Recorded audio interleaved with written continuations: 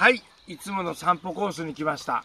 なんかね、歩いてると、あの植物とか、すごいエネルギーがある植物とない植物。山でもそうなんですけど、オーラがある山と、オーラのない山とあるんですね。人間でも同じですね。あの、このふかふかした畑から芽がうわーっと伸びてるオーラ。それは畑なんですね。それを感じますね。水をたくさん吸って伸びてる木。